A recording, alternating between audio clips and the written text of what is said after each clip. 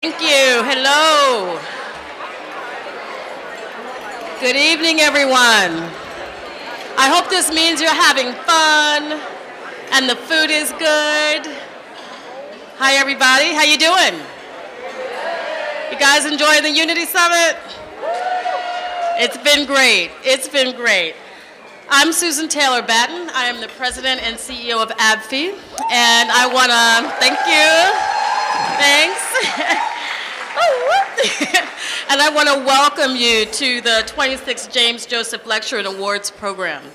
This program is named after a giant in the field, someone who we all look up to and respect dearly, Ambassador James A. Joseph, who was ABFE's founding board chair.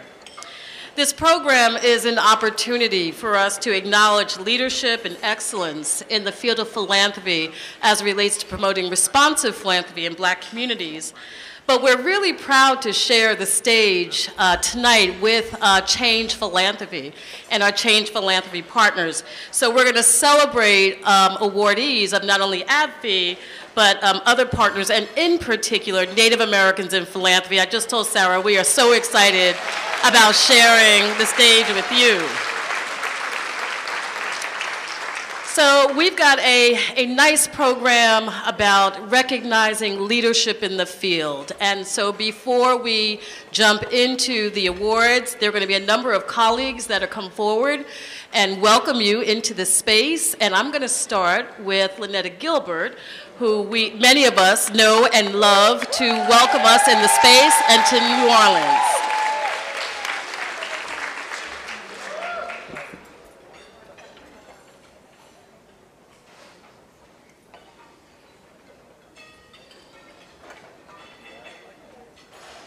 Well, welcome.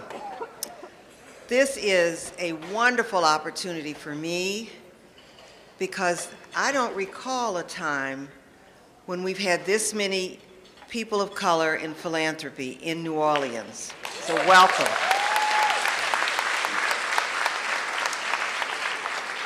I want to ask you to take a moment with me and just let's have a moment of silence for our brothers and sisters who are in Mexico who've just experienced a very strong earthquake.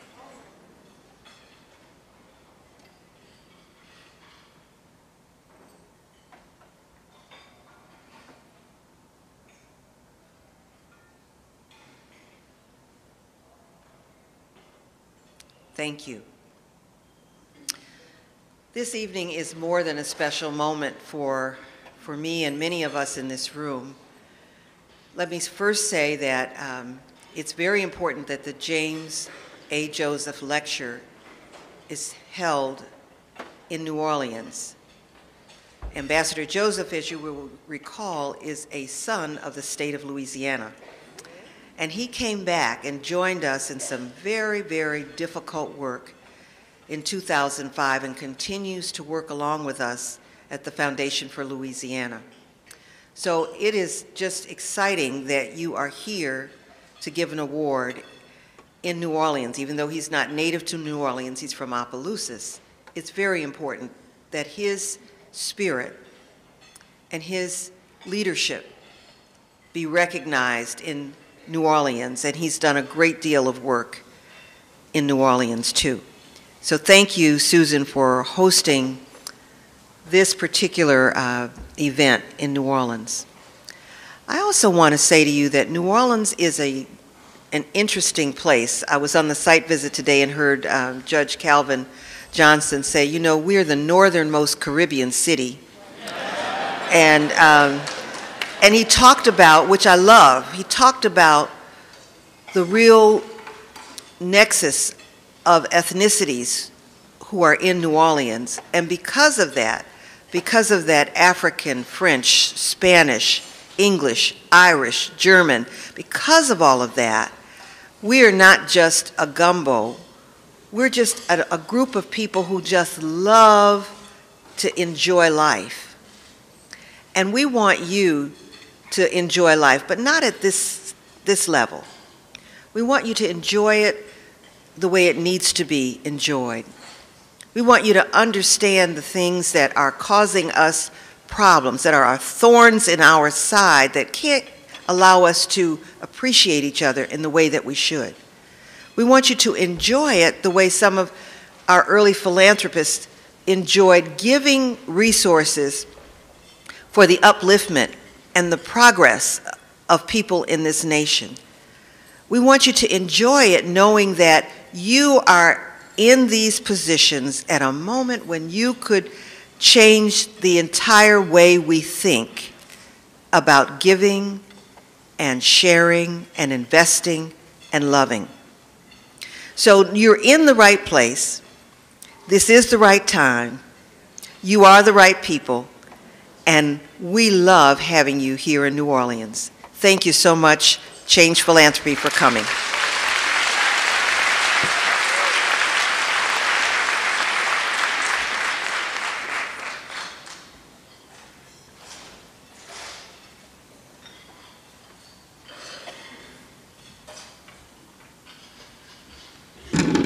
Good evening, everyone. I'm Cora Mirikitani. I'm President and CEO of APIP, or Asian Americans and Pacific Islanders in Philanthropy, and I'm personally privileged as one of the founding partners of Change Philanthropy to be welcoming you this evening. Change Philanthropy as a coalition is honored to partner with ABFE and NAP for the James L. Joseph Lecture and Awards celebration. Change Philanthropy believes that we should celebrate individuals and institutions who've made a strong commitment to advance equity across all communities. And tonight, you'll learn of just such examples.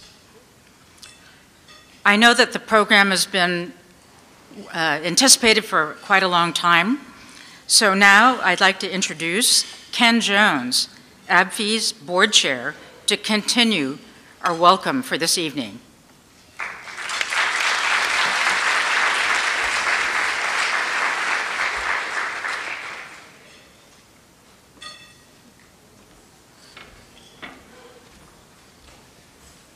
Good evening, New Orleans.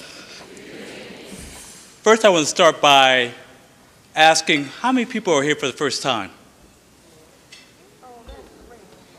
And I will guarantee this will not be your last time. and the reason why I say that, I started in philanthropy about nine years ago, and I found these meetings are so inspirational in you being in philanthropy, being in consulting, being a grantee. This is our time to come together.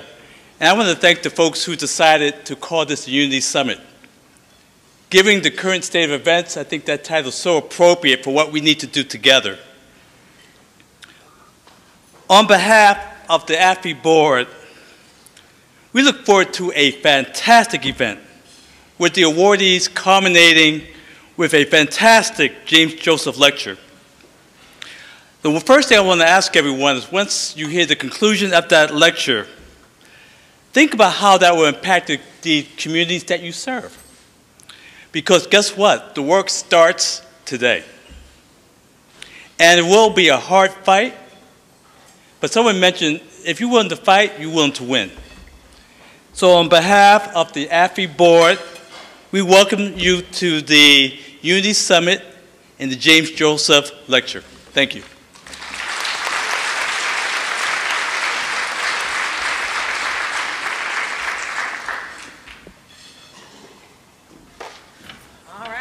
Welcomed.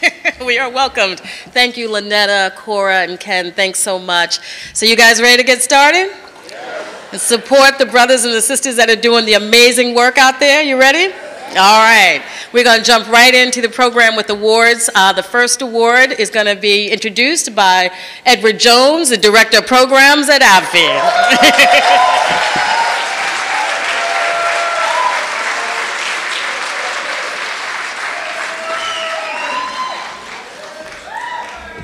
Y'all real silly in New Orleans right now. it is an honor to have the opportunity to share this award with an amazing person. The ABFE Philanthropic Emerging Leadership Award was established in 2002 to recognize and encourage the accomplishments and contributions of people, younger folks in the field of philanthropy, who have served as staff, donors, and trustees in the philanthropic sector for no more than seven years or so. This award recognizes an outstanding individual whose innovative leadership promotes philanthropy as a means of social change in black communities and advances ABFE's mission. Today, we are proud to salute Tynesha McHarris.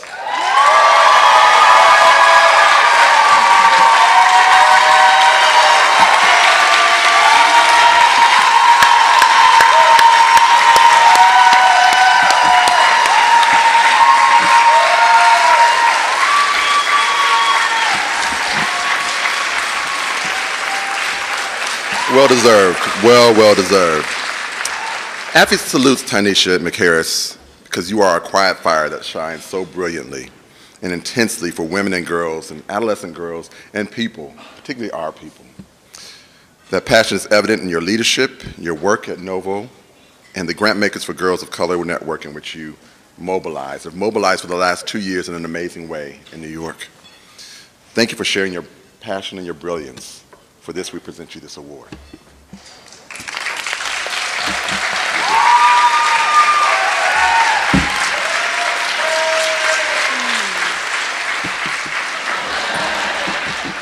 Hi, family.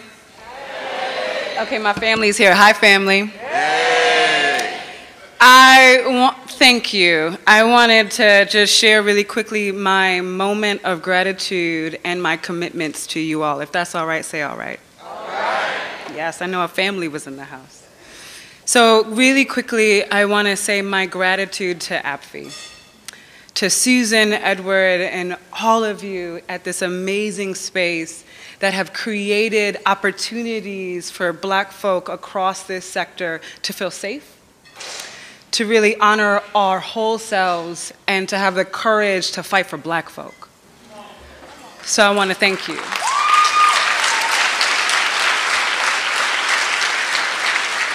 I want to thank my Novo family and my colleagues in the sector for always encouraging me to be my crazy self in all the ways that I show up.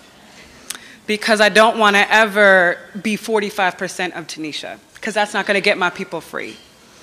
And so I thank all of you. I also want to thank black women.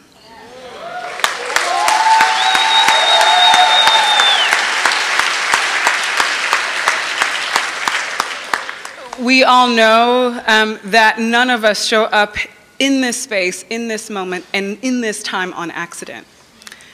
And black women made it possible that I can be a black woman fighting for black girls.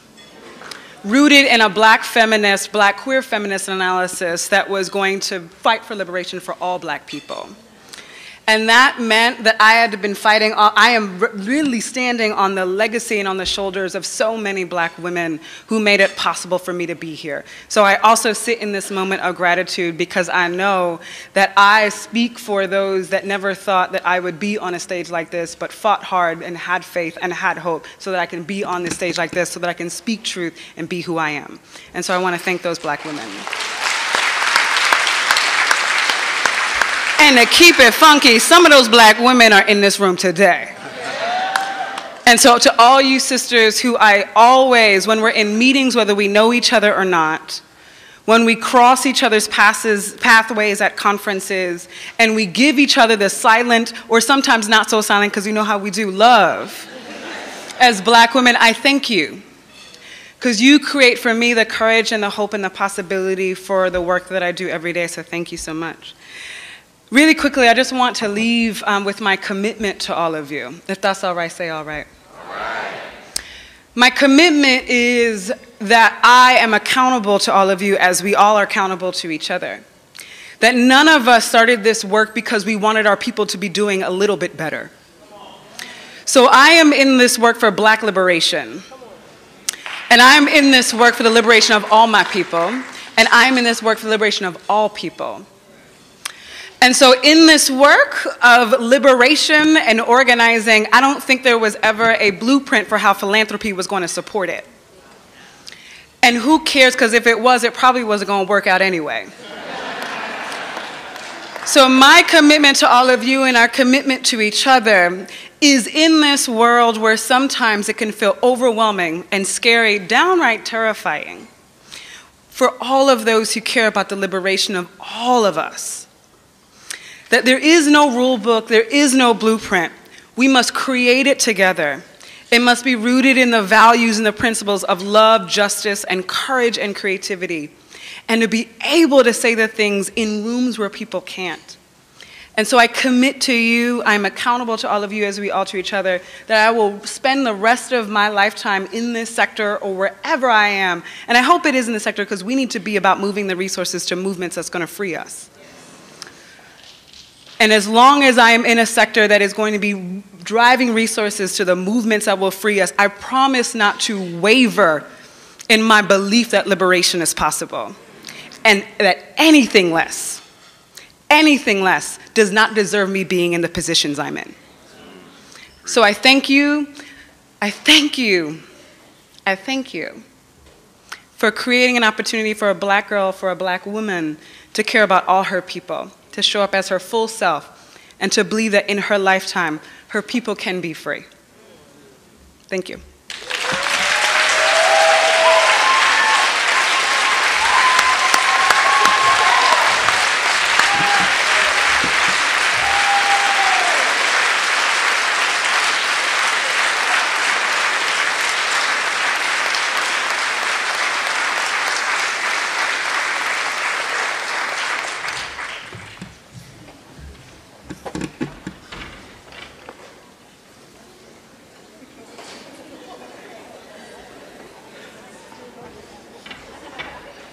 Already crying.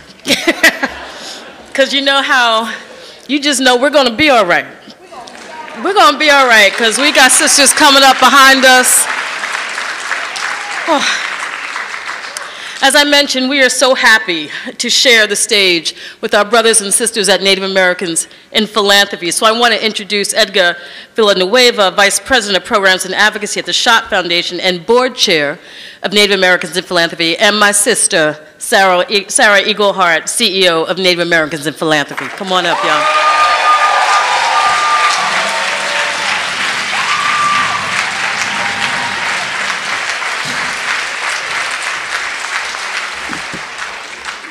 This is a long stage. I felt like I was like walking a fashion walk like next to Edgar here. and you know how he is. So this is like the, only the fourth outfit change for him today. no more before night's over. He's got his nighttime look still coming. So we are so grateful to be here. Uh, Native Americans in Philanthropy. Um, you know, we I have just been feeling so blessed to be a part of the Change Philanthropy Network.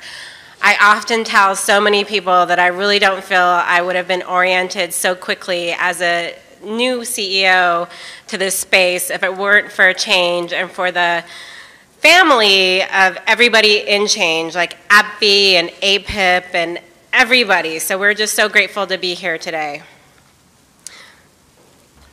We're honored tonight to present the Flying Eagle Woman Award, which was established in response to the loss of Ingrid Washanawaktak El Isa, an internationally known humanitarian, who worked to further Native people's rights, Native women issues, sovereignty, and human rights throughout the world.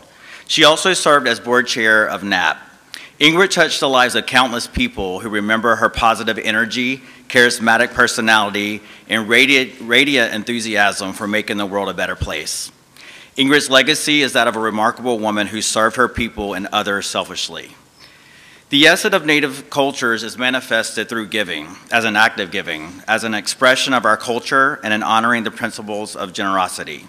Native people give to honor, we give to celebrate, to show our responsibility toward family, friends, and other members of the community.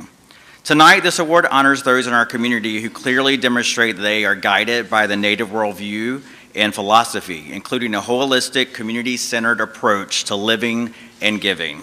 The 2017 Flying Eagle Woman Community-Based Philanthropy Award recipient is Julia Kelly. Julia?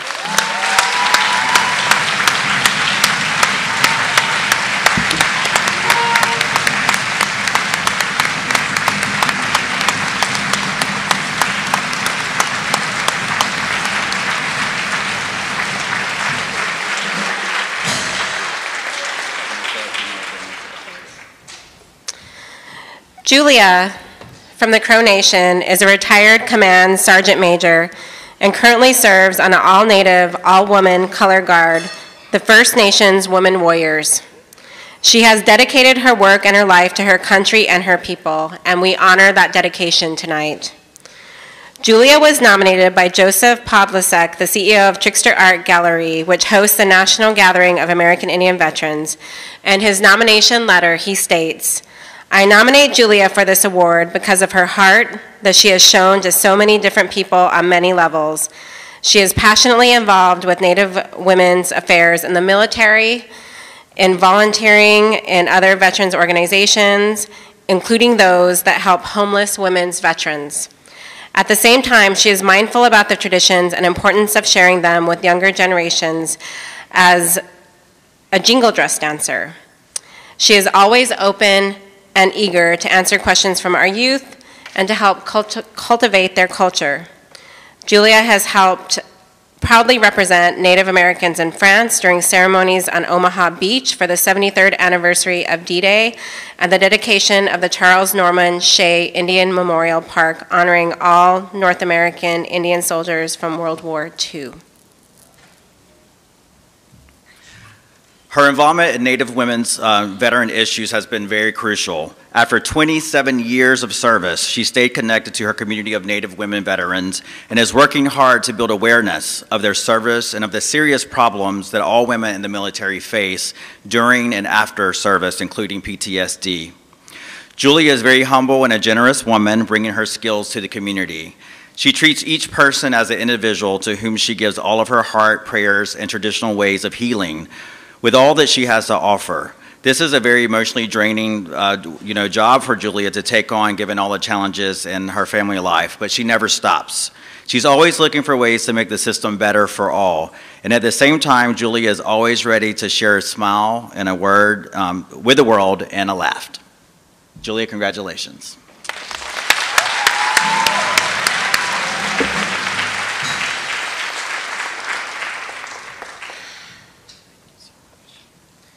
So we're honoring uh, Julia with a gift. Um, uh, Native Americans, you know, we traditionally um, do a wrap ceremony with um, a blanket. So we want to give Julia this blanket from Eighth Generation uh, that is based in Seattle. And so it's a Native American owned company. And this is how we honor our people by wrapping them in a blanket.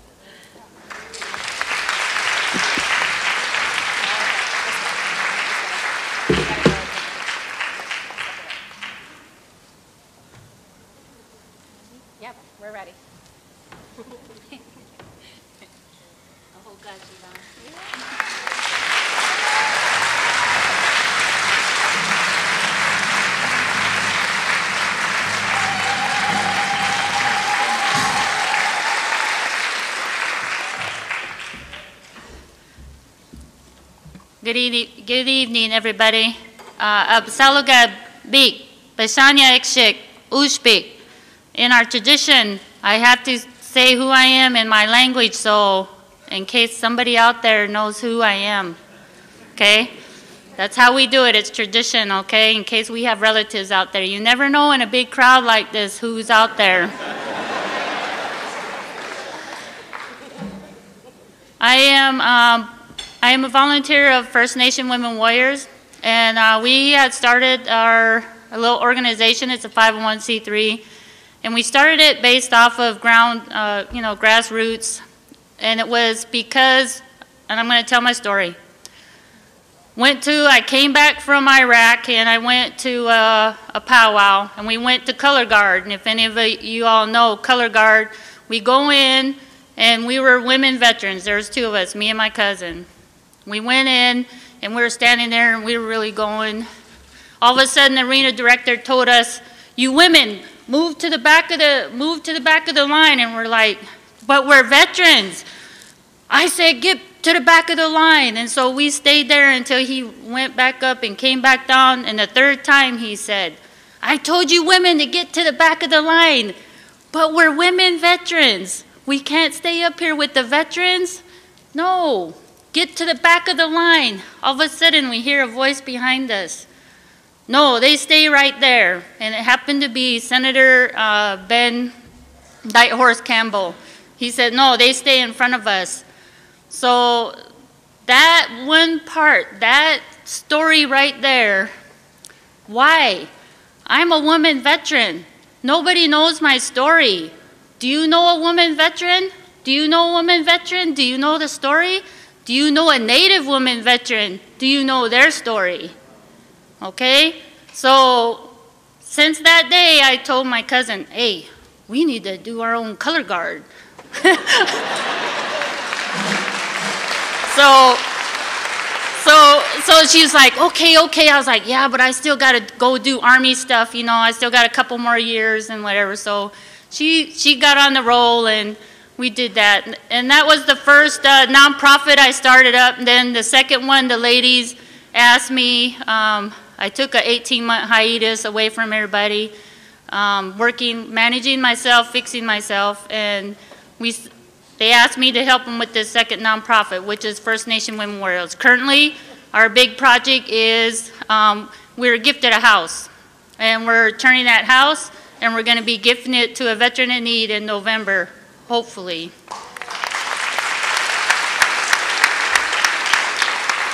And I need to thank my uh, natives in philanthropy. Uh, just so y'all know, I came on the on the on the plane like last minute because I didn't know I was nominated. That's just how humble I am. People just do things secretly, so they don't they don't tell you that this is happening. And uh, so so I I'm here, and I humbly accept this gift because in our way we we don't boast and we don't brag about what we do. Okay, but we'll go forward and with uh, the organization whatever I have to do, and if all my ladies are out there watching this live right now, I'm here, I'm standing up for all of you all, all of you all that are color guarding, all of you all that are out there, I am here, and I'm going to be standing, and I want to make that commitment to you all that no matter what, I'm going to be supporting you. Thank you.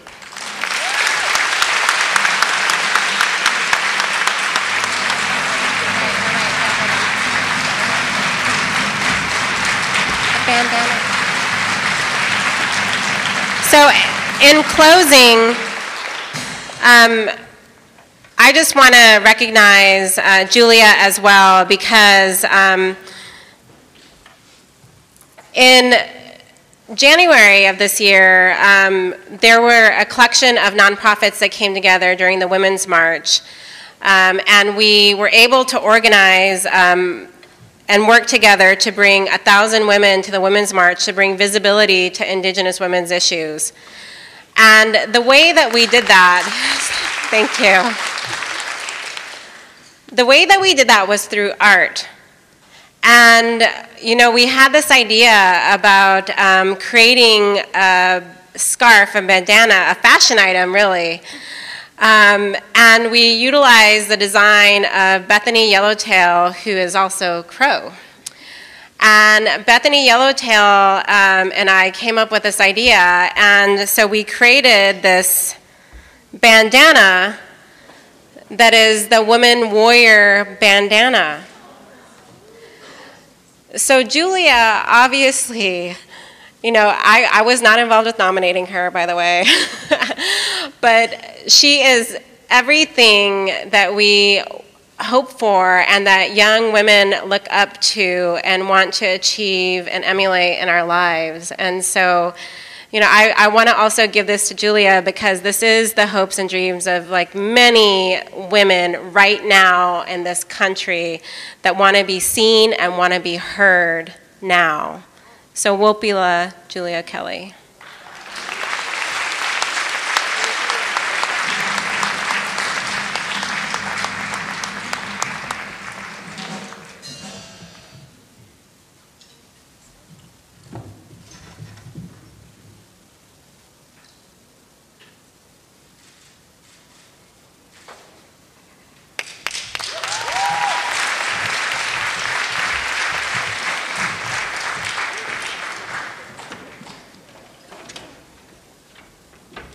right, can we give him one more hand, please?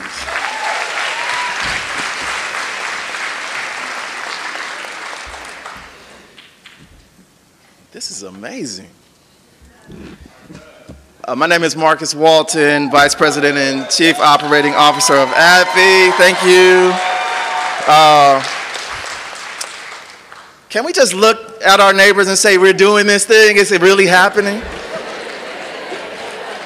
Yeah, oh my goodness. Our, our, our Unity Summit partners understand where I'm coming from with that. okay, that's, that's enough. Uh, I'm here to, um, I, am so, I, have had to pull myself together a couple of times just to get up here and, and really finish this.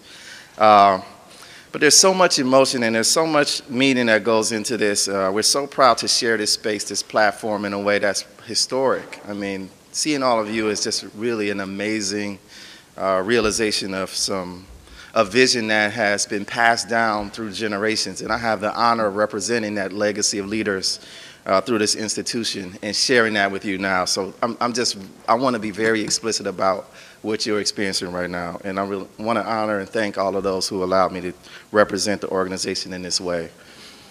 The ABFE Institutional Award for Philanthropic Leadership was established in 2002 to recognize significant efforts and contributions of grant-making organizations to promoting philanthropy as a means for social change in black communities. This award recognizes an exemplary grant-making institution that models effective and responsive grant-making practices. This year, ABFE recognizes the Hill Snowden Foundation.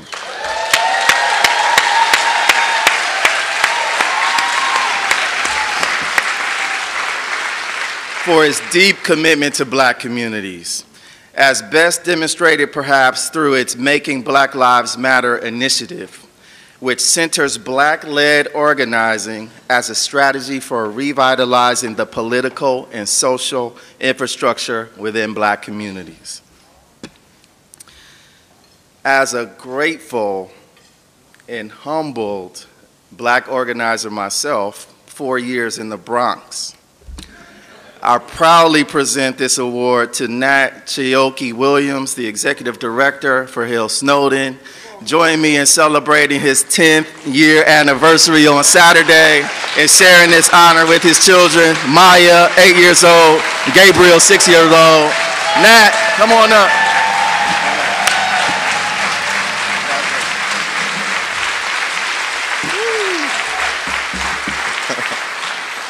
How's everybody doing tonight? These lights are bright. Let me tell you that. Jesus. All right. well, um, I'm so, so, so, so honored to be here tonight and appreciative to receive the ABFE Institutional Leadership Award.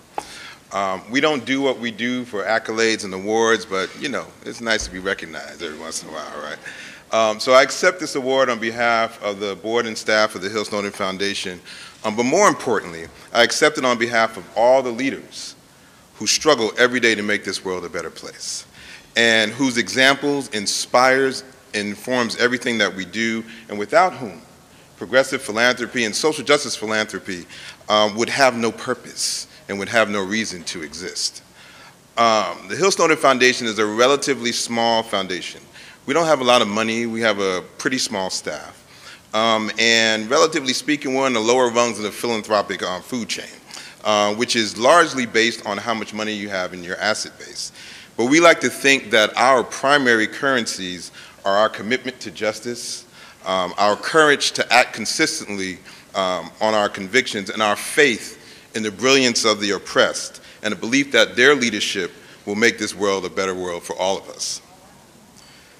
I imagine the particular honor of receiving this award from ABFE tonight is a result of the work that the Hill Snowden Foundation has done um, over the past few years to advance and lift up the fundamental necessity of strengthening the infrastructure for black-led social change so that black people can not only matter, but so that we can also thrive, and so that the progressive movement can meet its most ambitious goals. ABFE has been, has been an important partner with the Hill Foundation in this work, particularly in the creation of the Black Social Change Funders Network and in our co-authoring, Susan and I, co-authoring the Case for Funding Black-Led Social Change. But on a more personal note, ABFE helped me to reconnect with the political substance of my blackness. when I look back on my career, I came to realize that progressive philanthropy had slowly massaged the sharp political edges of, out of my blackness by subsuming me in a multiracial melting pot. And it, and it was my preparation to speak on an ABFE webinar in the months following the, the, the killing of Mike Brown that gave me a platform to articulate and evolve my analysis of black oppression and struggle um, in the 21st century. And uh, since I have that platform again today, I'd just like to share a few of my current thoughts on these issues. And so as I mentioned, Susan and I wrote the case for black-led, uh, funding black-led social change last year as a call to action um, to invest in building the infrastructure for black-led social change in this country. But in the past year, I've come to realize that social change is too meek and too meager a concept to describe what it is that black people need in order to thrive in this country. And when you think about it, that's all we ever get the social change that the system of white, elite white male supremacy is willing to spare, right? And it could spare change because it still maintains control and we still do not have what we need to thrive. So I would tell you right now, here and right now, that I don't want anybody's damn spare change. You know, I want it all. I want freedom. And so now I talk about black freedom rather than black social change. And the strategies and vision for black freedom have evolved in every century for the past four centuries. And nevertheless, the defining um, thrust of our quest for freedom to date has been the freedom from. The freedom from bondage, the freedom from legal repression, the freedom from discrimination, as opposed to the freedom to thrive, right? And what we've necessarily been doing for centuries is trying to tear down the barriers of systemic oppression. And while this still needs to be done, our vision for freedom cannot be bound to or limited by our oppression. Can we imagine a vision of black freedom that is more than just the rejection or the absence of our bondage and oppression?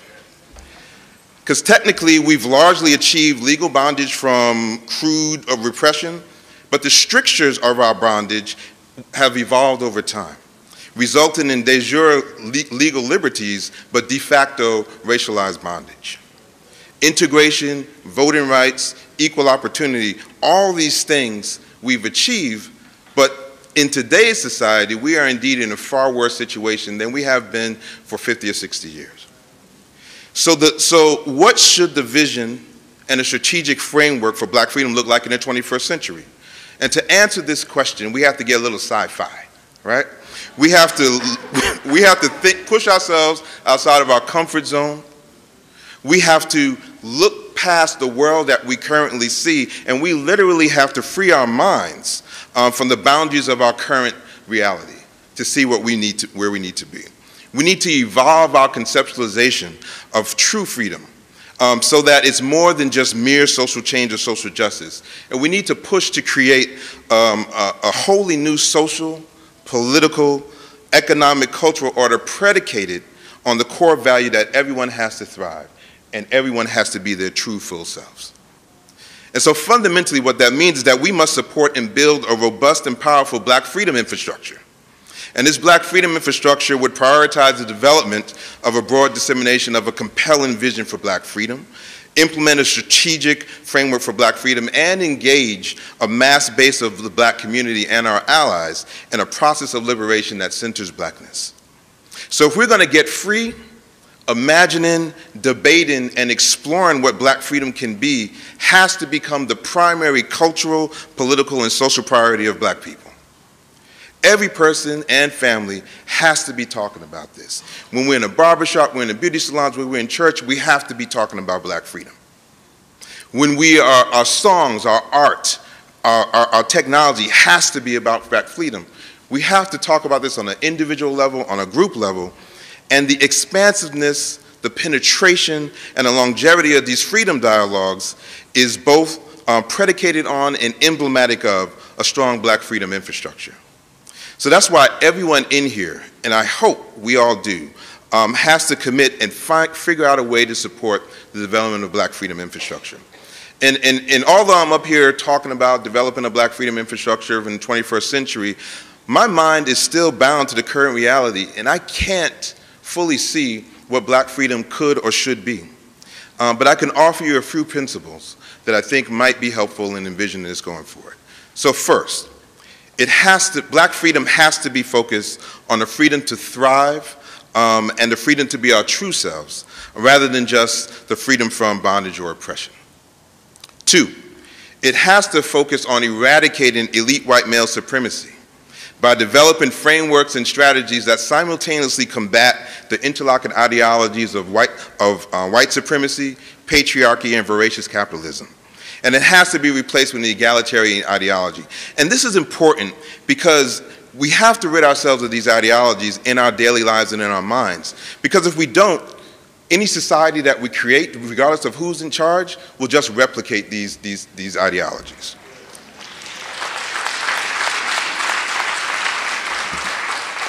Similarly, black freedom has to be more than mere nationalism. It can't be a retreat from others into ourselves or privileging people based on gender, class, sexual orientation, religion, or whatever. We have to embrace an ideology of freedom for, for, for us and for everyone, and we all have to get free. We can't leave anybody behind. Third,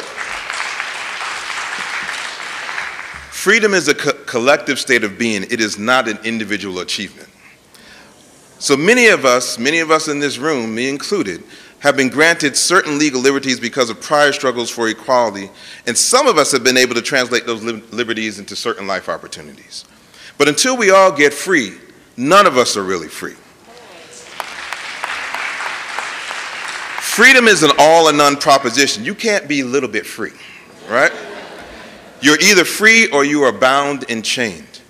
And even if your chains are made of gold or platinum or BMWs, and, and my chains are made of rusted metal, when they throw one of us overboard, we all sink together.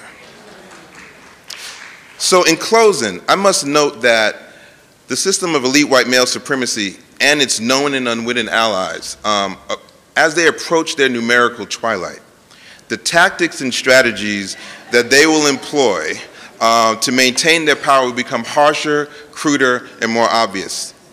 So demographics is not destiny. And elite white male supremacy will not fade away gently into the night, but it will assert its power to, in order to maintain its power. And so this is what we're seeing and living through right now. But as this occurs, there's also a sliver of opportunity to forge common bounds and shape a common destiny across a wide breadth of people of all races, all classes, all creeds, um, that, are, that are subjugated by the, the overall regime of elite white male supremacy. And while the broad body of humanity must bind together to achieve freedom, I firmly believe that it will be the radical imaginings of black freedom and black freedom dreams that will, will and must lay the foundation uh, for, the, for all of us to be free and all of us to thrive in this, in this society.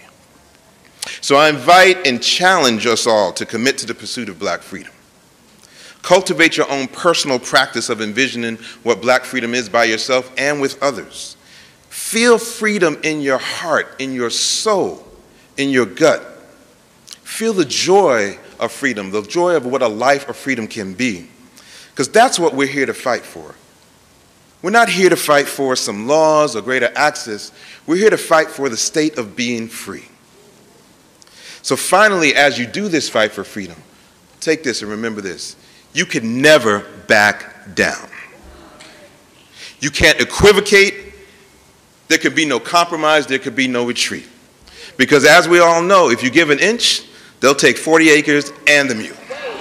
Right? So we got to be strong.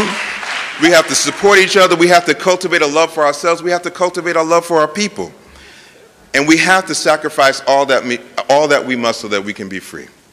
And so for my part, I'll be walking on this path of freedom. And as long as I'm at the Hill Snowden Foundation, we will be walking on the path of freedom. And I welcome and look forward to walking that path of freedom with all of you. Thank you.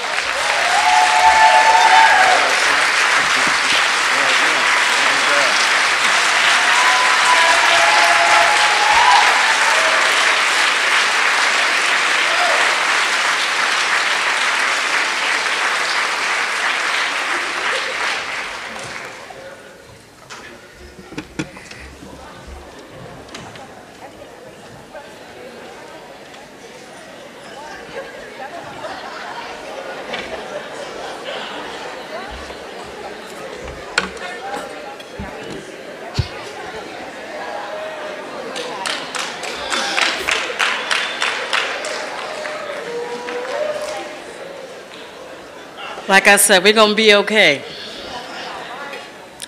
Because it's brilliance and leadership in the field. Trying to figure out how to segue from this. so, as we enjoy our brilliance and leadership, I can't think of anything better but just sort of wrap ourselves in culture, which is all about us. So, before we go on to the lecture portion of the program, let's have a little fun. So I want to introduce to you, uh, I hear we are in for a treat, the Hot 8 Brass Band.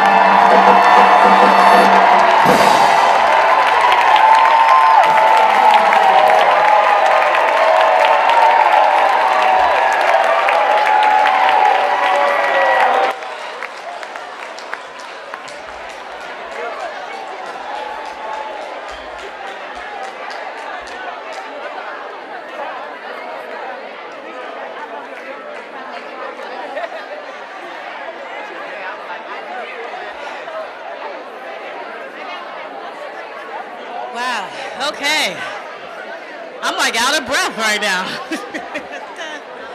you guys good? All right.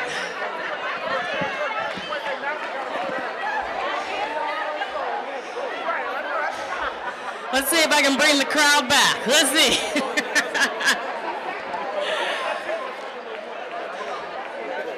All right. That was in honor of the sister that we're about to listen to. All right? That was an honor of the sister that's about to come up. All right? Because we had to welcome her in a big, big way. We are so excited about this lecture. As I said, the James Joseph Lecture is really the top award that ABFE gives every year. It is about leadership and historical leadership in the field. So we are really pleased, and so many of us have been anxious to hear the sister speak to us tonight. I'm even more excited to hear the gentleman who's going to introduce her speak to us this night, to, to us tonight as well. So let me bring up Brother Joe Scantlebury to make the introduction.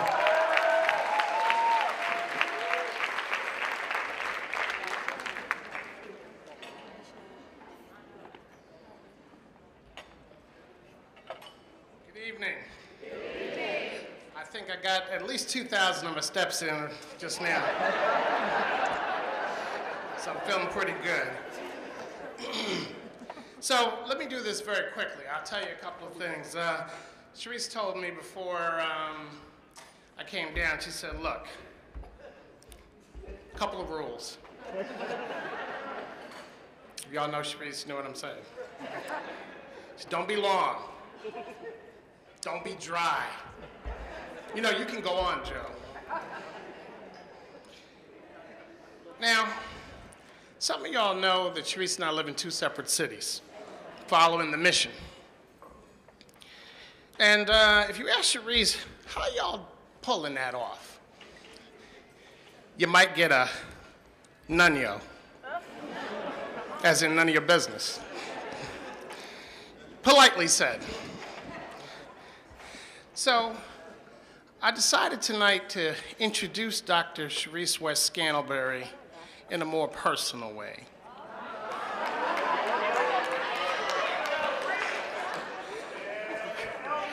And uh, Corey, you got room in your room just in case? All right. All right. So, 17 years ago, August 2000, hot summer in Baltimore, I was a grant seeker. I was an attorney working with a grant seeker. And we were visiting the Annie Casey Foundation. And we had a wonderful meeting, and I expected us to get a grant.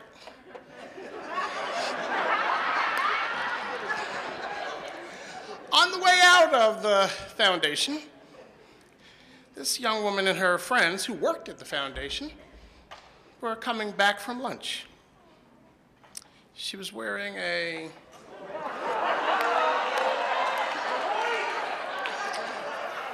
yellow red sundress.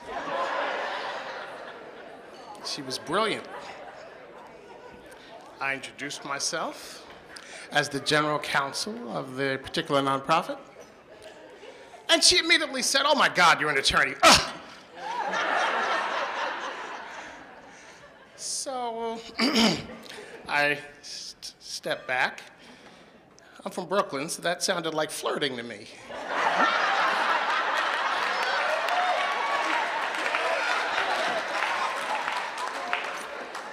So I got her card, politely. A month later, I asked her to go out. She had no clue who I was. But she was polite, responsive, like a good grant maker should be.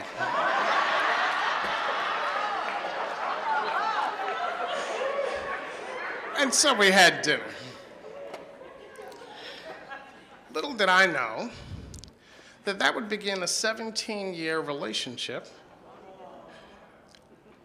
in which we would learn about servant leadership from Dr. excuse me, Ambassador Joseph in South Africa.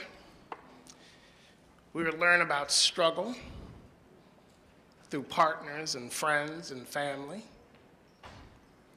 We would learn about the role of faith in the fight for justice. We would learn about passion. Yes, passion for each other. But passion, passion for people. We would learn about commitment, intellect. We would learn about the things that Dr. Sherece West Scantlebury will share with you tonight. Ladies and gentlemen, my wife, Dr. Sherece West Scantlebury.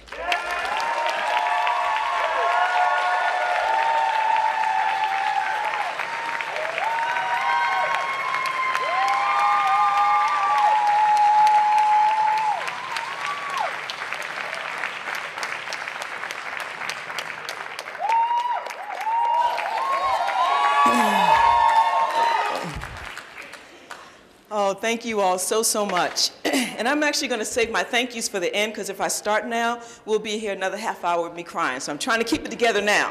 but I do want to say to Julia and Tynesha and Nat, you guys give me life.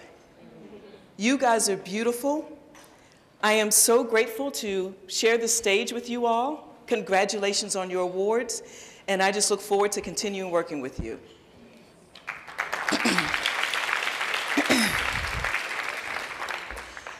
For most of my childhood, my mother, my sister, and I lived in the Murphy Homes, a public housing community in Baltimore, Maryland. I can still say my address 725 George Street, apartment 8L. My phone number was 752 7589. We had to learn that in case we got lost. Growing up there, it was dangerous both inside and outside of my home. For example, to get to the elevators, you had to walk through brothers shooting up and, and sniffing glue. What I later learned was airplane glue. Eventually, there was a um, entrance, a plexiglass bulletproof entrance that was um, erected in the lobby. So, and, and we also had security guards and cameras. So the brothers who were in the lobby decided to take their thing to the stairwell. But the 725 Mafia Mamas, oh, they weren't having that. So who do you ask are or were the 725 Mafia Mamas? Now, that's not the name they gave themselves. That's actually what I call them. They were black women, they were mothers. They were like the Olivia Popes of the projects. They handled whatever needed to be handled. So when them brothers thought they would take it to the stairwell, them sisters was like, oh, hell to the no. they started patrolling and booting them out until they stopped coming. But they couldn't keep up with all the activities that were going on in the building. There was this man named Preacher who liked to offer little girls money to come to his apartment. Now, I don't know if he was an actual preacher or if that's what we called him because he was religious and liked to carry a Bible and some tracts. Because, you know, if you carry some Bibles and some tracts, you, you a preacher. he could have been an usher or a deacon for all we know. So he offered my sister and I money to come to his apartment. and we neither took his money nor did we go to his apartment. But we, what we did do was we told on him. And we told on him, and so did other little girls in our building. So brother got a visit from the 725 Mafia Mamas. now, I have no idea what was said. I don't have no idea what they did. But what I do know is that every time that brother crossed our path, he diverted his eyes and ran quick, fast, in a hurry in the other direction because they handled it. The 725 Mafia Mamas, they were serious about protecting us. Now, I don't want to romanticize growing up in the Murphy homes because that was some hard living for a child and a preteen. I have no desire to relive the addiction and the alcoholism, the domestic violence, the fatherlessness. And so many kids and families were going through those same struggles, including the 725 Mafia Mamas, who we depended upon. But I'm grateful for that experience because it made me who I am today. I'm grateful to those women because they taught me when you unite to resist, you can change the culture of your community from one of living in fear to having just a little bit more safety. They taught me that we are empowered with the authority to make change in our communities and that we have the power to make that change happen. Living there gave me my purpose. I'm very clear that I have been put on this earth to work on behalf of communities like the Murphy Homes and to support women and organizations like the 725 Mafia Mamas. Real clear. and we've all met these women and we've all met, met these groups and organizations in our own work. They are scrappy, yet resourceful. They are uh, uh, uh, hard, radical, but they know what is best for their communities. These women were the boldest, baddest women in the Murphy homes. And I am so grateful for all that they did for us.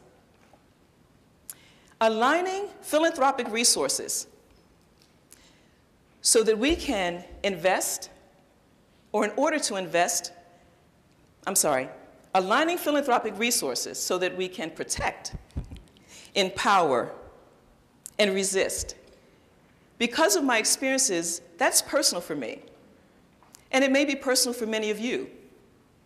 And that strategy is a necessary strategy.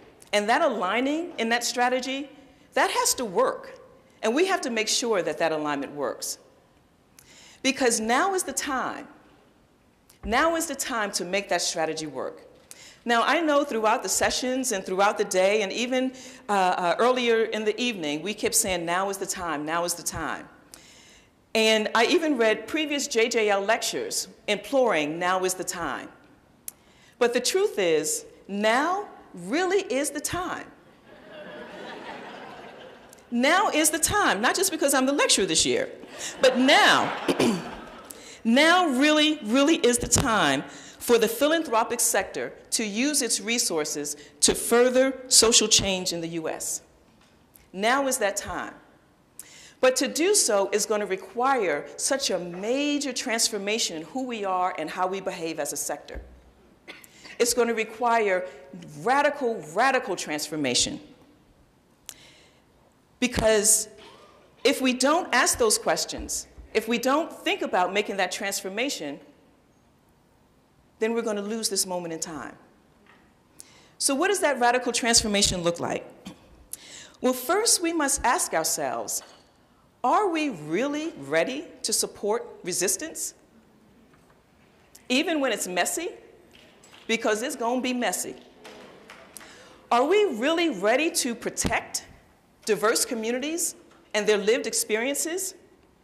Are we really ready to, to, to empower grantees to have power and voice? Are we really ready for communities to influence the resources that go into and out of their communities?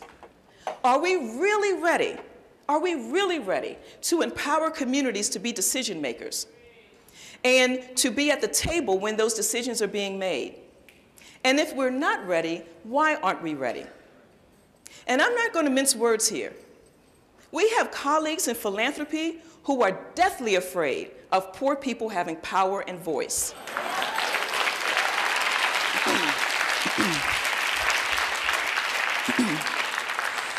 we are deathly afraid in philanthropy. We have colleagues who are so afraid of black people having power and voice. I have been, I have been in philanthropy for 25 years. That's back when they was hiring 12 years old and teenagers. this is my silver anniversary in philanthropy. Over the years, I have heard colleagues say something to the effect of, you know, Sherece, the kind of change you're describing, girl, we want that to happen. We absolutely want that to happen. But if we fund communities to do what you just said, they might, they might, they might demonstrate. They, they may do an action. They may become confrontational. I've even had colleagues in philanthropy who said something to the effect of, if we fund a particular organization who's doing organizing, who's resisting, who's empowering, who's protecting, if we fund that organization, aligning ourselves with that organization, we might be in the media.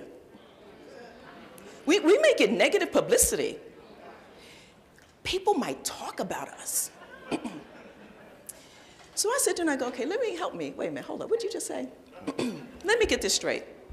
You would rather reserve your reputational capital than to help poor people?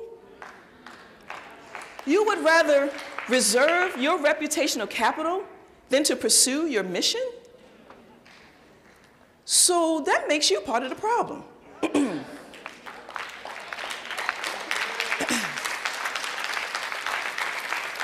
And on top of that, even if you align yourself, you get in the paper, you get negative publicity, it ain't like nobody not gonna ask you for another grant again.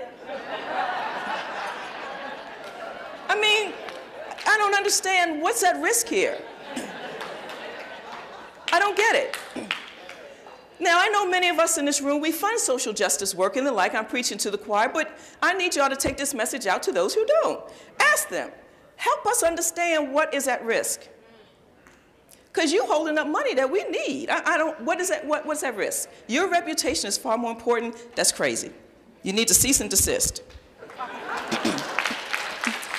then on top of that, we have more excuses. Change is hard to measure. is there a return on investment from advocacy and organizing?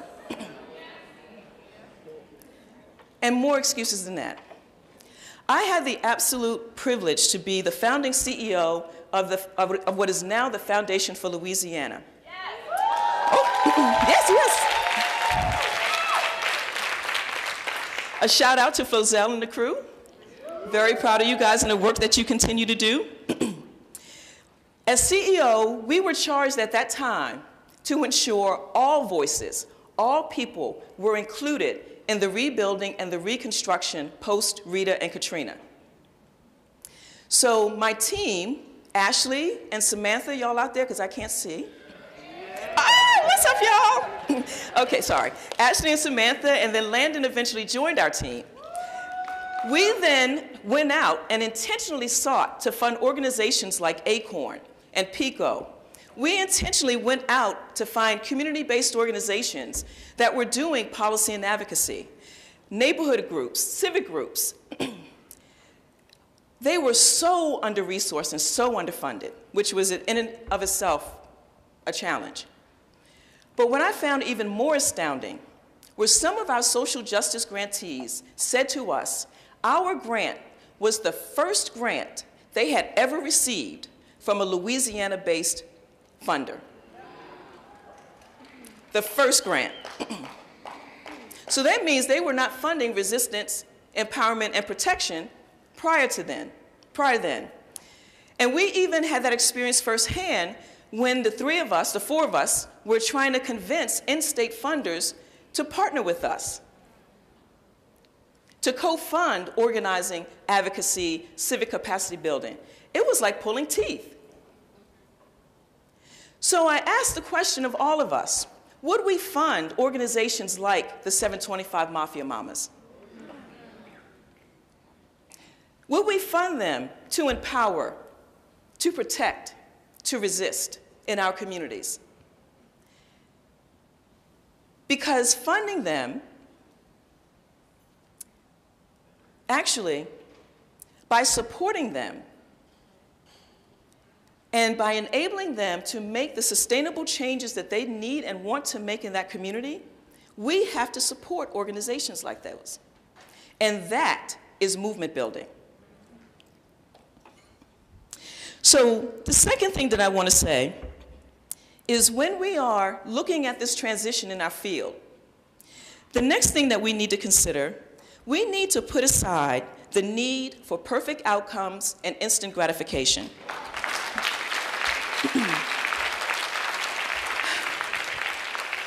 Perfect outcomes and instant gratification has the effect, in case y'all don't know, again, I know you know in this room, but we got to tell others. that need for that inhibits organizations from taking a stand and speaking up. We need to get rid of the fear of the funder. Grantees who are working on immigration rights, they should not be afraid of losing their grant because they are demonstrating or organizing a rally or some of their members are undocumented.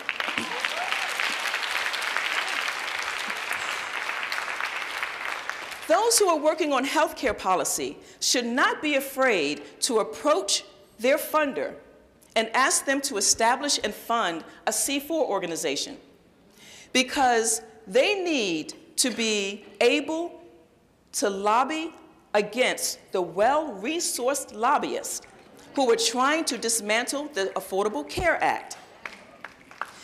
We need to figure out ways to fund those C4s because the policies that we care most about will continue to be sidelined and hobbled if we do not support C4 organizations.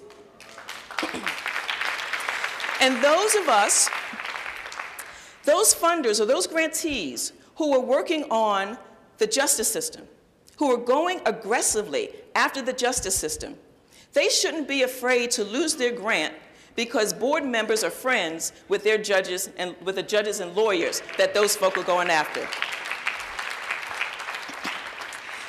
And to my unity colleagues, now is the time to step in this moment and take leadership within your foundations. As was said earlier, we never had this many black and brown folk in philanthropy before. Now is the time to step into the leadership within your foundations. And I know it's not easy, y'all. I live in Arkansas. I know it's not easy. It is not easy working with or doing this or stepping into leadership with colleagues board, board members who are conservative and not risk takers. But we can't stay comfortable in the big house. We can't stay comfortable here. Where are we taking a stand? Are we challenging our sector through our scholarship? We should be writing, publishing. We should be challenging the sector through scholarship, through critiquing. They need to hear from us. Our voice is vital. And quite honestly, they're looking to us for that leadership. And I know it's tiresome. I know it's tiresome, y'all, trying to be the leader and trying to tell folk and school people. I know, trust me, I know it's tiresome. but we got to do it. Now is that time to do it. Because we too must get uncomfortable. We too must take the risk and the boldness we're asking others to take. Because staying safe in our cushy foundation positions is not going to change the world.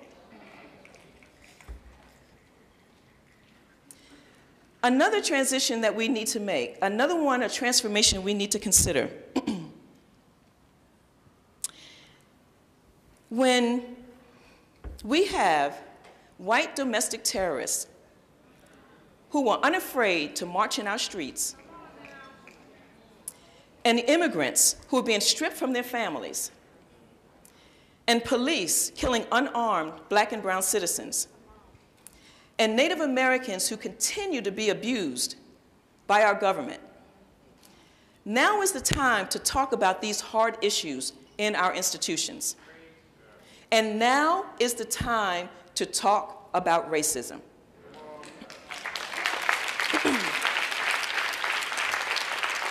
now is the time to get over whatever the hell it is you got going on about it and talk about it.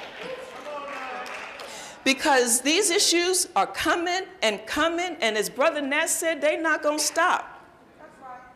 So we need to talk about these hard issues. And we need to be unafraid to talk about them. And unfortunately, we as people of color are going to have to take leadership around some of those conversations. But we have to talk about them. I co founded an affinity group, an internal affinity group at the Annie Casey Foundation called Respect. All right, my respect folk, my respect folk in the house. So, Respect is the place in the foundation where we talked about issues of race, culture, and power. We were, our charge was to build the core capacity of our staff at the Annie Casey Foundation to work effectively in communities of color. Susan Taylor Batten was our leader of Respect during the time I was there. Under her leadership, y'all, we was, we was, we was on. We was on and popping.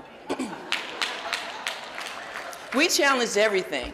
We challenged everything from hiring practices to who were the consultants and the vendors to making sure that we used a racial equity lens in doing our grant making.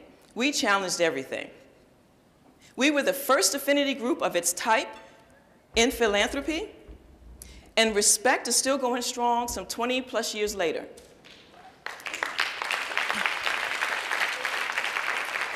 Doing that work within the foundation was not easy. Am I right, Susan? Am I right, Corey? Come on, Faith. It was not easy. But we did that thing because it was important for us. One of the products of respect is the Race Matters Toolkit. Another product of respect is that the Annie Casey Foundation has a director for race, equity, and inclusion, Nonet Sykes.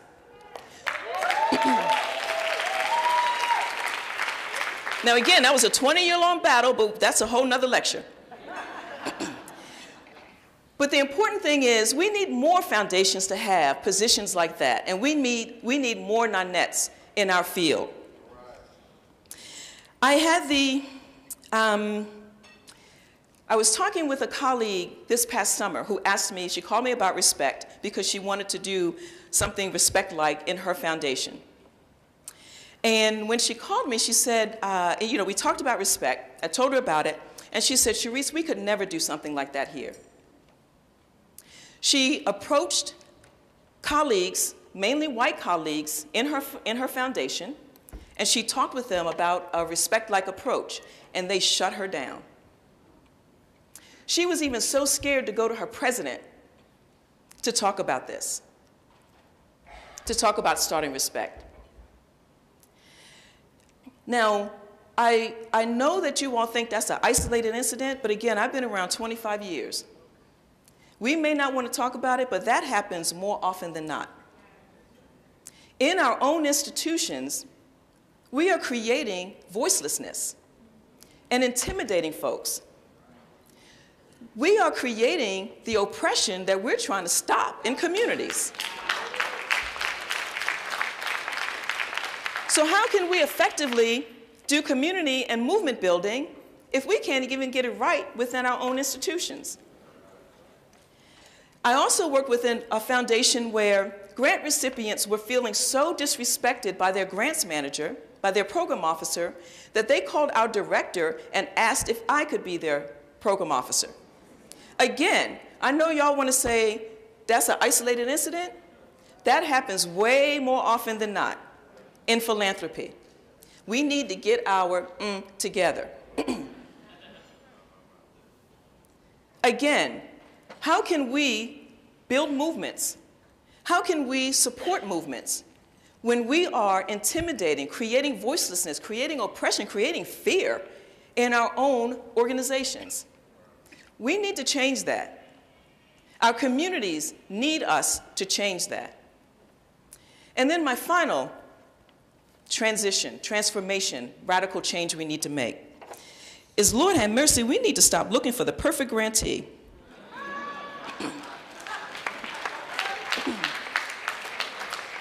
we need to add to our portfolios those potential grantees who don't know what infrastructure, don't even know how to spell infrastructure,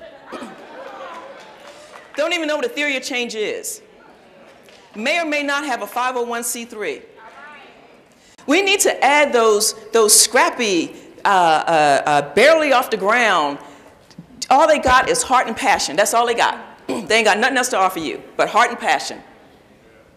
Because that is the backbone of movement building. The backbone of movement building. At the Winthrop Rockefeller Foundation some eight or nine years ago, one of the first grants that I made when I got there was to the Worker Justice Center of Arkansas. The executive director was 23 years old and he was the elder.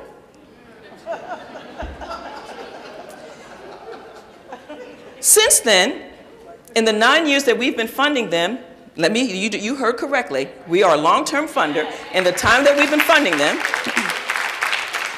they have reclaimed $920,000 in workman's comp, discrimination claims, and the like just through their advocacy on behalf of workers, mainly immigrant workers. We need more of those types of grantees in our portfolio. We need to take those risks. We need to add them to our portfolio. Again, because they are the absolute backbone of, of movement building. So I want to take this moment and acknowledge the power that we have we have and we can create movements that have changed the course of history in the United States.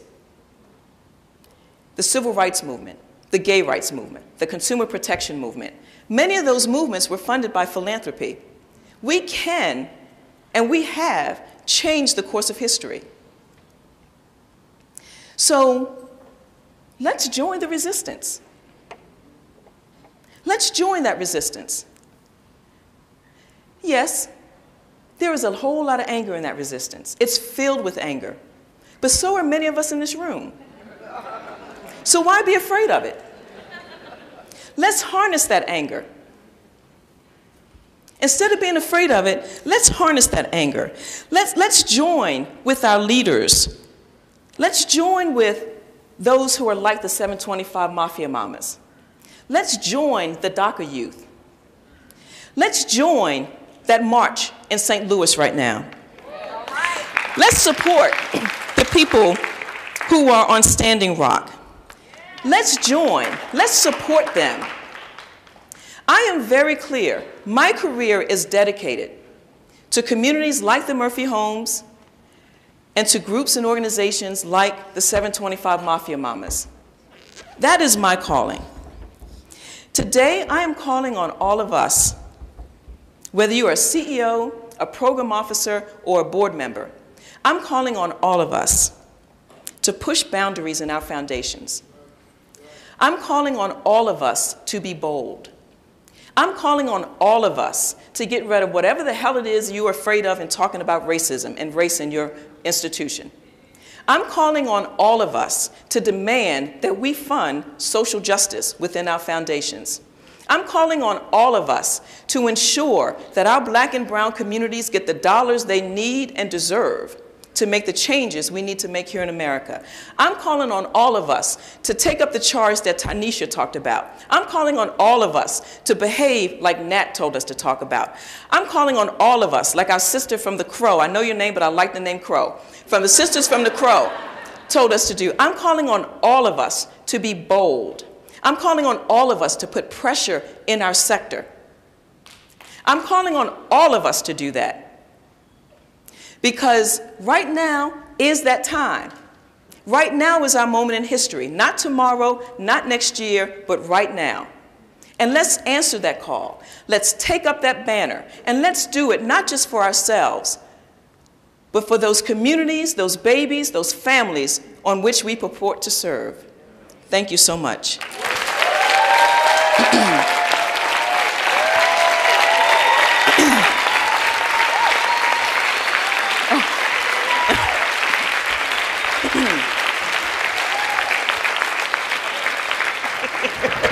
oh, God.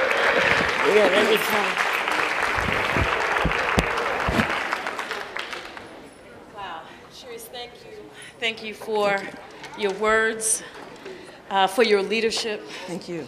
We are so blessed to have you where you are. I'm blessed to call you my colleague, my friend, and my sister. So Appreciate it. Love you too. So we honor the James Joseph Lecturers with a very special piece. And what you see behind you is an illustration of a painting that there are only 26 around. This is the 26th James Joseph Lecture, and there are 26 of these. Sherece is now the 26th owner of this actual painting. And I just want to tell you a little bit about it, and it's on its way to you. I just want to let you know that. Uh, the name of the painting is Rainbow People, and the artist is Lloyd G. McNeill, and it was commissioned in 1991 for the inaugural James Joseph Lecture. It is based on an initiative by Ambassador Joseph and symbolizes our rich cultural diversity. It also represents the pride and the promise of black people. Sherece, we are so honored to honor you as the 26th James Joseph Lecturer. Thank you. Thank you. Thank you. Thank you. Okay.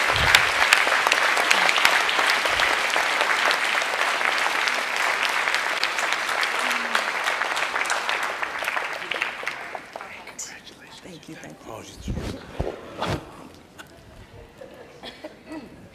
All right, with that, I want to call on my sister Carly. Let's give it up for Carly Hare, the Coalition Catalyst for Change Philanthropy.